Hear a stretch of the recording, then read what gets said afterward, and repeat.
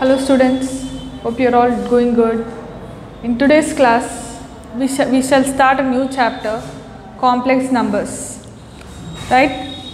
What is a complex number? If you are able to write any number in the form of x plus iy, then it is called complex number. For example, 3 plus 4i, 7 minus 6i, all these are the examples of complex numbers where i is the root of minus 1 and i square is equal to minus 1. z is equal to any if you are able to write any number in the form of x plus iy where x comma y belongs to real numbers then it is called a complex number. Here x is called real part of z and y is called imaginary part of z. x is called real part of z and y is called imaginary part of z. You write x as real part of z, you write y as imaginary part of z. A complex number is said to be purely real if y is equal to 0 and x is not equal to 0. If y is equal to 0 then this part will be eliminated, only real part will be there. Suppose if x is equal to 0, this part will be eliminated, only imaginary part will be there.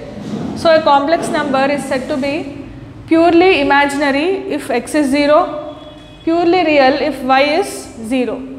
That's about this complex number. Next, you can denote x plus iy in the form of ordered pair as x comma y in column brackets. Now, how to add two complex numbers, how to multiply two complex numbers, how to divide two complex numbers is given here. If z1 a plus b, z2 c plus d are two complex number, then you z1 plus z2 is a plus c comma b plus d. Next z1 minus z2 is a minus c comma b minus d. z1 into z2 is ac minus bd comma ad plus bc. When we do the problems, you will understand this better. z1 by z2 is ac plus bd by c square plus d square, bc minus ad by c square plus d square. This you shall remember it like a formula. First rem- remember only these two. These two I'll, I'll tell you a different method of doing it. Remember z1 plus z2, z1 minus z2. The additive inverse of the complex number. Additive inverse of the complex number x comma y is minus x minus y. That is when you add these two complex numbers you have to get 0. So minus x minus y is the additive inverse of x comma y. Similarly, multiplicative inverse inverse of the complex number a comma b is a by a square plus b square comma minus b by a square plus b square. This is the multiplicative inverse and this is the additive inverse. Multiplicative inverse means if you multiply these two complex numbers you will get 1. If you add these two complex numbers you should get 0 that is additive inverse. In multiplicative inverse if you multiply these two complex numbers you will get the answer as 1. So then this is called multiplicative inverse of a comma b. Now we shall look into some problems, you will understand better how to add and multiply and divide complex numbers. Let us see. I want you to note down all this. You have to note, note it down like a note, important points.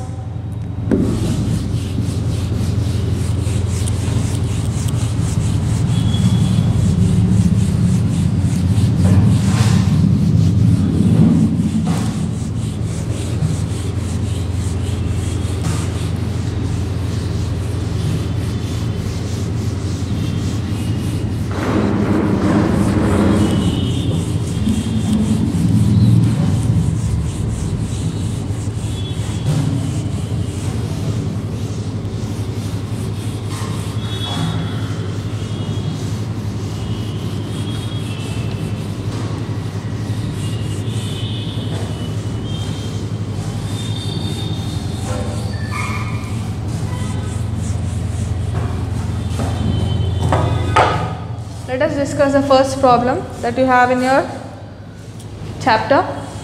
Let us discuss the first exercise. Exercise 1a. If z1 is equal to 2 comma minus 1 z2 is equal to 6 comma 3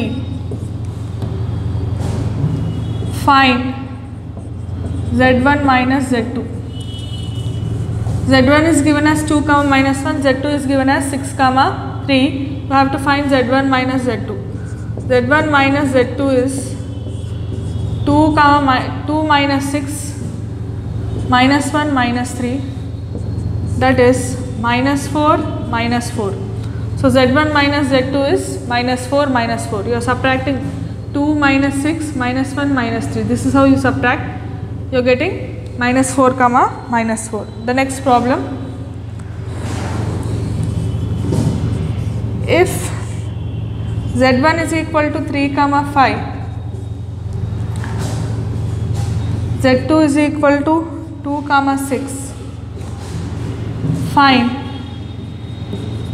z1 into z2 now this 3 comma 5 can be written as 3 plus 5i 2 comma 6 can be written as 2 plus 6i z1 into z2 is equal to 3 comma 5 into 2 comma 6 that can be written as 3 plus 5i into 2 plus 6i 3 2s are 6 3 into 60, 6i 89 5 into 2 10 10i plus 5 into 6 30 i square 6 plus 18 plus 10 28i plus 30 into what is i square? Minus 1 so 6 plus 28i minus 30 6 minus 30 minus 24 plus 28i this can be written as minus 24 comma 28 right note down this we shall discuss the next problem.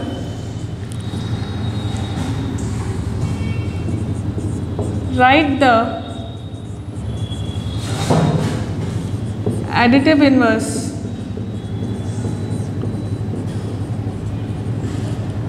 Of following complex numbers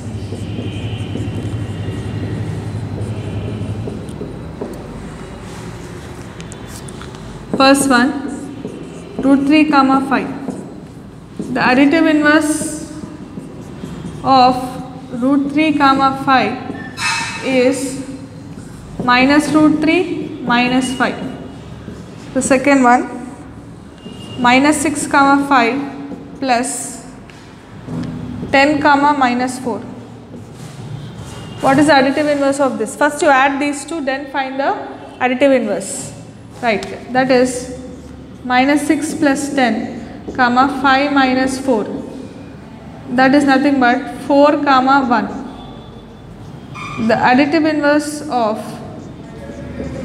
4 comma 1 is minus 4 minus 1 shall discuss the next problem you take it as homework.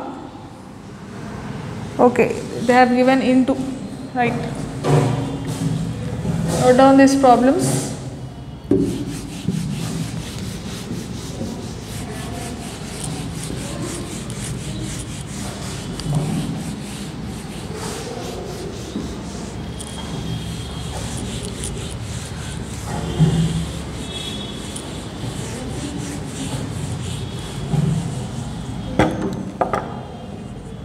Third one.